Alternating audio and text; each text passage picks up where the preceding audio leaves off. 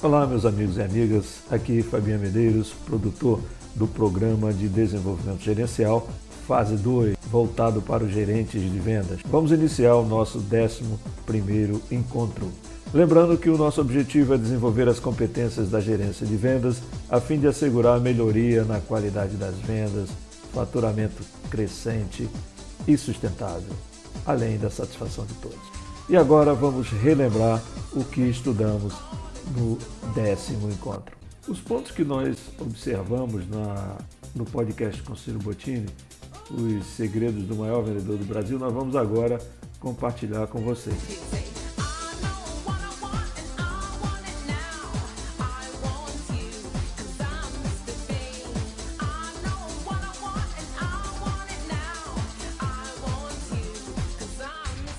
que é vender de forma consultiva. É ajudar o cliente a reconhecer suas demandas, necessidades, dores, oportunidades, tomar as decisões que precisam ser tomadas e implementadas, gerando valor para o cliente. Então, compreenda o que é o valor para o cliente. O valor está na base da pirâmide, invertida, evidente. Valor são os motivos que levam o cliente a comprar o produto ou serviço. Eles são gerados pelos benefícios trazidos ao cliente mas, como disse o Bottini, pela conexão emocional entre o cliente e atender plenamente às suas necessidades para que ele se sinta é, bem com a decisão que tomou. Né? Os benefícios são os aspectos que proporcionam ganhos para o cliente. E os atributos são as características e especificações técnicas do produto ou serviço que ainda tem o seu valor, o seu, a sua importância, porém não são decisivos para que o cliente feche. O que é decisivo é o valor, é, é a conexão emocional. É ele perceber que tem ganhos para a sua vida. Ou seja, mesmo no varejo, o cliente pensa qual é o valor. Ele quer sentir prazer com aquela compra e pagar um valor justo e correto. Nós identificamos os pontos que chamaram mais atenção do, pod, do podcast com André Ortiz. André Ortiz foi gerente de venda da Ambev, gerente de marketing, é um cara fantástico. Ele que, ele que gerencia a TV do vendedor é uma área que eu diria que um bom vendedor tem que estar sempre lá, porque ele tem muitos ensinamentos. O gerente de vendas, além de formar a sua equipe, ele tem como missão também formar novos líderes e lidar com problemas, lidar com os clientes. É, às vezes eu vejo um cliente chegar para falar, reclamar, ao invés de tornar aquilo uma grande oportunidade, o cara fica chateado com o cliente. Isso não é ser um bom gerente de venda, nem muito menos um bom vendedor. Meus amigos e amigas, hoje nós vamos começar a estudar o ciclo de compra e vendas num cliente na venda de soluções agregando valor. A primeira etapa que nós vamos estudar é essa é planejar a venda. Para cada etapa do ciclo de compra, há uma etapa correspondente para o ciclo de vendas. Conforme vocês estão vendo aqui, nessa primeira etapa, que é planejar as vendas, o cliente desconhece os seus problemas, as oportunidades, muitas vezes as dificuldades, e cabe ao homem de vendas ajudá-lo a descobrir tudo isso. Conforme falamos nesta primeira etapa, às vezes o cliente não sente dificuldades, dores, nem muito menos ver as oportunidades. Alguns, inclusive, são orgulhosos. E a gente queria aqui relembrar que o bom vendedor ele tem que ter uma boa visão de negócio e se comportar como uma águia que de cima fica analisando tudo o que acontece embaixo e dando as suas os seus lances para pegar os peixinhos. E aqui é que o vendedor planeja e organiza a venda, descobrindo quem é o cliente e tudo em volta do seu negócio. Gente, é importante que a gente fale com vocês o seguinte: aqui é um ambiente educacional que as coisas vão se dar gradativamente, tal, até que todos compreendam o ciclo de compra e venda. Mas na vida real, isso acontece de uma forma rápida, já internalizada na mente dos vendedores, ok? Antes de fazer a prospecção ou a visita ou o contato com o cliente, o vendedor precisa conhecer o cliente. E aí faça um script com as perguntas chaves no seu dia a dia. Essas perguntas que nós vamos apresentar aqui são aquelas mais voltadas para quando você vai visitar um cliente empresa, cliente condomínio, cliente organização. Mas a gente, inclusive, vai fazer um exercício logo em seguida em que o vendedor de varejo também deve ter o seu scriptzinho, a sua colinha, para fazer perguntas e conhecer o cliente quando é desconhecido. Quando não é, quando já é conhecido, evidentemente que a gente vai a, a, é, passando para as próximas fases que iremos estudar. Mas estão elas aqui, ó. Qual a história da empresa? Já é nosso cliente? Quem é o contato e qual sua função? Qual o tamanho da empresa? Quantos funcionários? Qual é o faturamento mensal? Quais os produtos ou serviços? Quem são os principais clientes? Como é a estrutura organizacional? Quem são os principais decisores e influenciadores? Quem são os principais fornecedores? Como encontra-se a saúde financeira e econômica? Preferencialmente olhar o balanço anual para saber como é que anda a situação econômica financeira. Quais os principais problemas ocorrem nesse tipo de empresa? E se você tem algum caso de sucesso que possa despertar interesse desse novo cliente. Então, gente, essa primeira fase é a fase de conhecer o cliente. O que, que acontece com a maioria dos vendedores? Eles partem logo para apresentar os produtos, sem conhecer o cliente, já fala de preço e, infelizmente, a venda nos tempos atuais não é mais uma venda de tirar pedido, nem de empurrar produtos e serviços para o cliente. É uma venda com espírito consultivo, de venda de uma solução com valor agregado, como vimos no início. Como nós estamos hoje aqui numa empresa de varejo da construção civil, a gente pediu para que os alunos fizessem cinco perguntas estratégicas para você conhecer um cliente no ambiente de varejo. Ou seja, aquele cliente chega na loja, e aí? O que, é que eu vou perguntar? Se é um novo cliente. Então, a colinha, vamos fazer isso aí, tá? Agora vamos pensar além.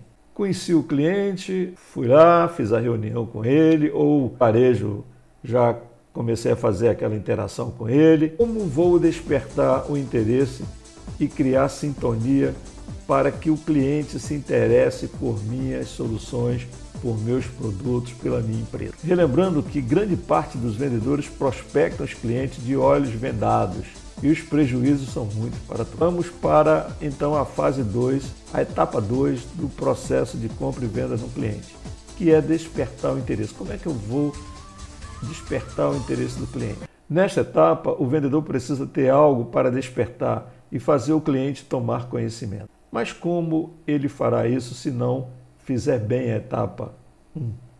Para criar formas de despertar, é preciso que o vendedor seja consciente que o cliente é um ser humano, que o cliente tem sentimentos, impulsos e necessidades, traduzidos em segurança, comodidade, instintos de conservação, curiosidade, amor, sociabilidade, prestígio, benefícios econômicos. Então o vendedor ele precisa compreender essas, essas, essas, esses itens no primeiro contato com o cliente. Seria tão bom se vocês guardassem isso na, na frente de um local onde vocês frequentam constantemente, para decorarem isso. Isso é importante. Chega o cliente na loja, ao conhecer o cliente, o que está por trás daquele ser humano? Muitas vezes, instinto de conservação e aí você não pode ser extremamente agressivo. Né? Ou benefícios econômicos. Mas é importante que você saiba isso na fase 1. Nesta etapa, muitas vezes o cliente não tem conhecimento do que precisa. Um grande vendedor de soluções para TI levava sempre matérias de jornais especializados com tendências e produtividade. Discretamente, disponibilizava sob a mesa do cliente e chamava interesse. Aí eu contei para o pessoal uma história que aconteceu comigo eu, eu era responsável pelo treinamento de vendas da, de uma operação comercial e sempre que eu visitava as unidades, eu saía com os vendedores. E aí fomos visitar o secretário de Fazenda de um estado do norte. Nossa, foi fantástico, porque esse vendedor ele vendia soluções tecnológicas. Ele vendia, por exemplo, uma máquina enorme de quase 500 mil, mil reais que substituía a gráfica. E nós fomos visitar o secretário de Fazenda. Ao chegar foi muito interessante, porque aquela sala enorme que logo criava uma, uma dificuldade, um medo né, de, de entrar, mas o vendedor entrou com muita tranquilidade. E ali estava sentado um senhor com um bigode muito grande, um cara assim, bem de, secretário de finanças, sem muita amabilidade e tal. E é claro que o vendedor já tinha passado pela etapa um que é, conhecia o cliente, sabia quem, com quem ia falar, né? Ele coloca em cima da mesa um, uma reportagem da Folha de São Paulo falando sobre produtividade e tecnologia, tecnologia e produtividade. E toda hora o homem olhava para aquela, aquela reportagem, até que enfim ele pediu para dar uma olhada. E o vendedor, óbvio que talmente já liberou, não, pois não, tal, não sei o quê. E ali já começou a, a criar um, um interesse do, do cliente pela nossa visita, né? E aí foi muito engraçado porque de repente ele chamou a gente para tomar um café. E aí quando ele saiu da cadeira ele era pequenininho, era quase tipo um anão. E aí foi o papo rolou na, na área de sintonia que nós vamos conversar logo em seguida. Os temas motivadores que chamam interesse do, do cliente são sempre esses: economia, redução de custos, rapidez, simplicidade, confiabilidade, segurança, é, evitar conflito, status, né, o valor, o que, que aquilo vai me trazer de satisfação, atualização tecnológica. Então, são esses temas que também o vendedor deveria decorar sempre. E, e mesmo na, aqui no nosso ambiente que a gente está conversando, da construção civil, isso aqui está sempre presente. Né? Então, por exemplo, se você vai vender um porcelanato, aquele que está buscando provavelmente está com um tema de interesse que é status, né? que é criar um ambiente bonito na sua casa. E aqui é onde se dá o contato efetivo com o cliente. Ele passa a ter interesse pelo, pela empresa, pelo negócio, pelo vendedor, pela solução do vendedor. Então, o que nós falamos aqui, já pensou você levando alguma matéria sobre as tendências de banho, cozinha ou iluminação para, ao conhecer o cliente, os temas que podem ser abordados e o perfil do cliente, apresentar as tendências para ele.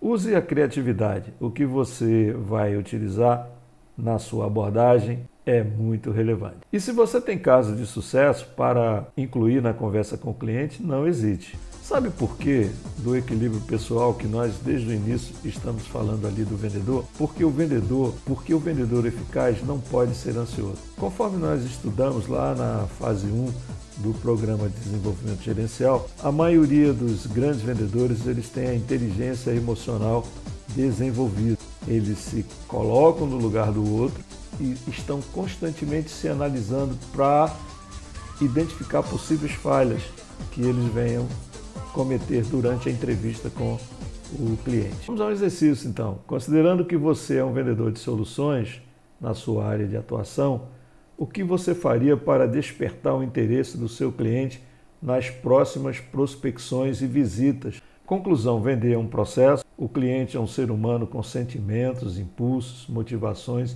e necessidades. Existem os temas motivadores para comprar, que a gente vai decorar isso tudo. Sem planejamento, as coisas ficam mais difíceis. O vendedor atua com uma venda nos olhos e é necessário despertar o interesse do cliente. O vendedor precisa ter equilíbrio emocional e conter a sua ansiedade, sobretudo porque as comissões geram muita ansiedade, muita vontade de fechar logo o negócio. E nem sempre é assim. Agora vamos falar de uma outra etapa do ciclo de compra e venda no cliente, que é estabelecer a sintonia. Então nós já conhecemos o cliente, nós já despertamos o interesse do cliente e agora nós vamos criar essa relação, essa sintonia. Assista o vídeo e defina o que é sintonia na sua opinião.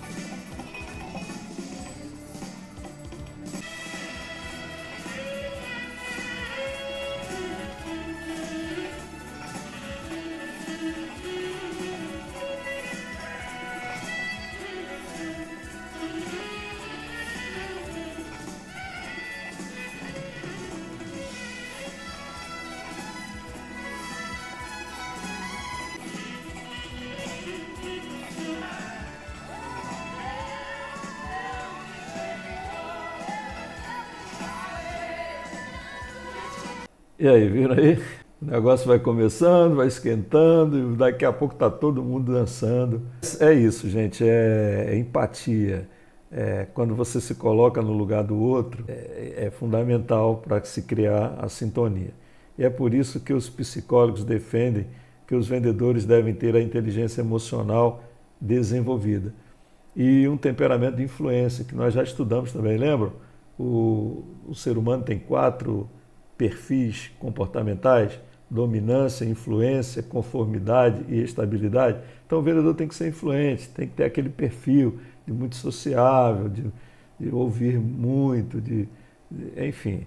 Que muita gente diz que é o vaselina, mas não é nada disso, é um perfil comportamental mesmo. Então a, a inteligência emocional significa a capacidade de se autoanalisar e se colocar no lugar do outro. Às vezes, pequenos gostos criam sintonia. O vendedor precisa ser empático. Um psicólogo gosta de subjetividade, o engenheiro gosta de números, empreendedores gostam de resultados e religiosos gostam de falar de espiritualidade. Então, o vendedor ele precisa muitas vezes criar sintonia a partir do perfil do cliente. Eu fui trabalhar numa empresa por indicação do CFO e tive a entrevista com o presidente, né? E o, o, o meu amigo falou assim para Falei, Fabiano, olha, se puxar assunto de, de futebol, foge, porque foge para outro assunto que ele gosta, que você também gosta, que ele é botafoguense doente. Se você disser que, que não gosta do Botafogo, já, já ferrou a entrevista.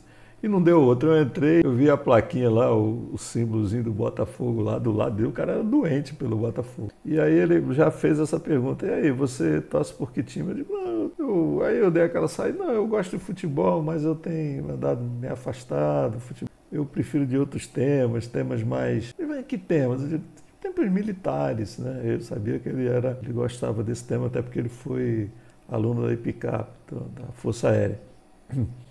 Aí ele falou, qual livro que você está lendo? Eu falei, o, o, Arte da Guerra. Já tinha lido há uns 10 anos, mas já puxei o assunto.